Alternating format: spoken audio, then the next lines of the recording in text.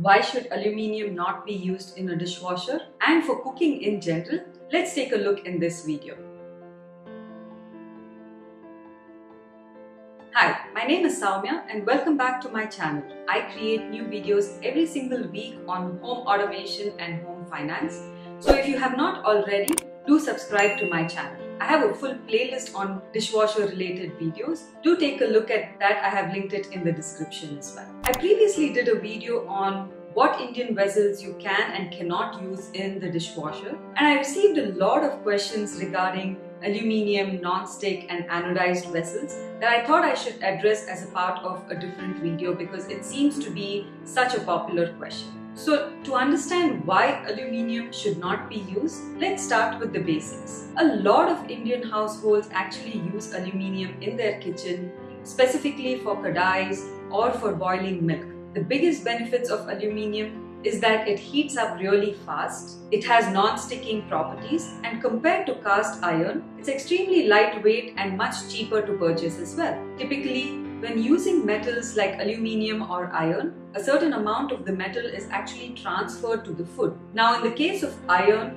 it might be good, but in the case of aluminium, it is not good and it causes toxicity. It can accumulate in your body as well. And we are only allowed a certain percentage of aluminium consumption on a per day basis. This toxicity can reflect in the form of hyperacidity, ulcers, indigestion, flatulence, skin problems like pigmentation, eczema, dandruff and so on. Of course, the amount of aluminium that we are going to be getting from such a transfer is significantly lower compared to our daily needs of aluminium which is about 50 milligrams. But in spite of that, this usage of the metal is non-essential and absolutely should be avoided when possible. In addition, the longer that you cook food or keep your food in an aluminium vessel, the greater is the transfer. The more acidic the food, things like tomato purees, vinegar, lime or even coffee and tea if you're making in your aluminium vessel, more aluminium actually does get transferred to your food.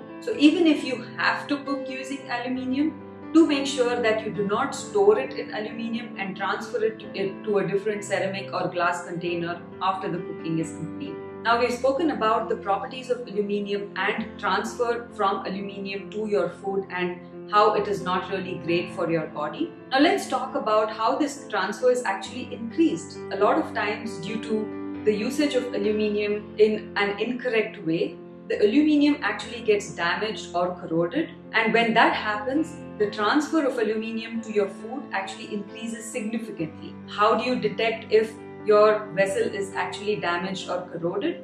Look for very small holes in your aluminium vessel and if that is the case, my recommendation is that you need to stop using it immediately. So what does all of this have to do with the dishwasher? The dishwasher actually causes corrosion or damage to aluminium vessels because of the detergents that are being used.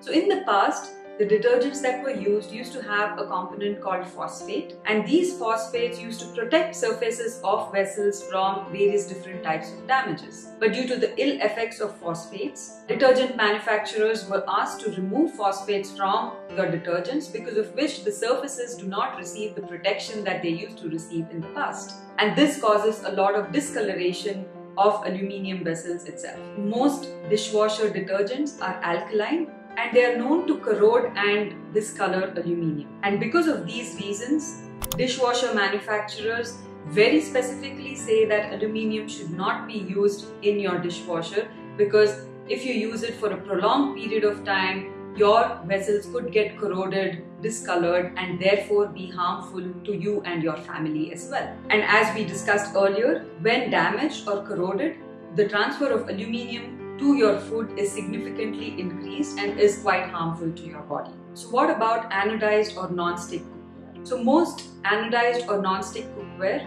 actually contain aluminium inside it because aluminium as we discussed earlier is extremely conducive for heat and is a good material for cooking. However, the moment it actually comes in contact with your food directly, that is when the problem starts and non-stick and anodized actually have a coating on top of them to prevent contact of aluminium with your food. Now what happens over prolonged use of non-stick and anodized cookware. Either the type of ladle that you're using, you might be using the steel ladle or because of the way that it is being washed, you might be scrubbing it with a metal brush. It could happen that there are scratches on your non-stick as well as your anodized cookware, which could mean that the aluminium that is underneath the coating gets exposed to your food and hence is actually then harmful for your body. In addition, when you add these to the dishwasher, like we mentioned earlier, since the dishwasher contains chemicals that could harm the coating that is on anodized as well as non-stick cookware,